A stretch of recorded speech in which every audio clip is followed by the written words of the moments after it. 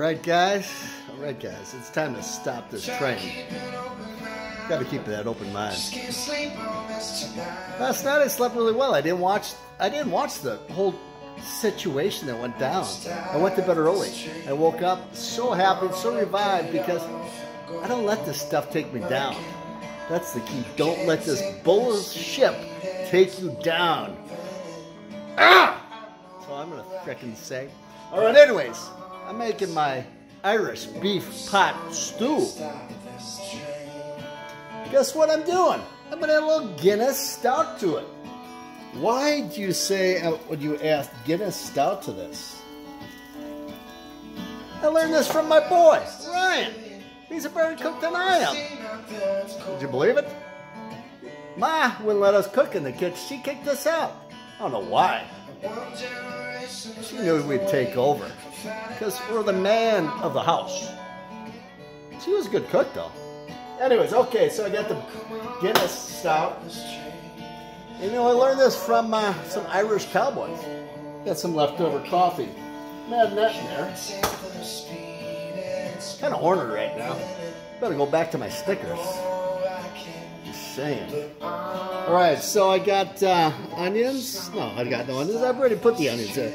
I got uh, peppers, celery, and uh, some peppers. More peppers. Oh, we got some red potatoes. So we're to cook this for another couple hours because uh, that's what I'm feeling. All right, so let me tell you a Sidoff story. So back in the day, I don't know if this is fact or fiction because us us, we tell lots of stories. This is a story I remember when I was like five years old. So we lived out in the country, lived out in a big old brick city farmhouse, got six brothers, two sisters. I was the youngest of all, and uh, had a good time. So there's a big red barn across from our house. We had to jump over a fence because when we bought the house, they didn't like us, so they put a barbed wire fence between us and them and had some dogs run in their yard to keep us out. So every time we play baseball, the ball would go over there. Question is, who was going to get that ball? Was it good?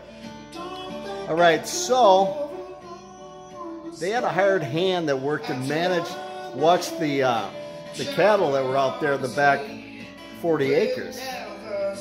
And he slept in the barn.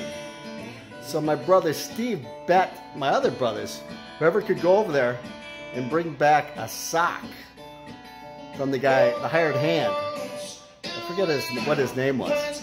But you had to bring back the sock, and if you won, you wouldn't get a beat up for a week. But luckily I never got beat up because I uh, was too damn young to get beat up. But you know what? It's just another Sidoff story. So it's about riding that train. I love riding that train. I'm glad I'm off that train because somebody died.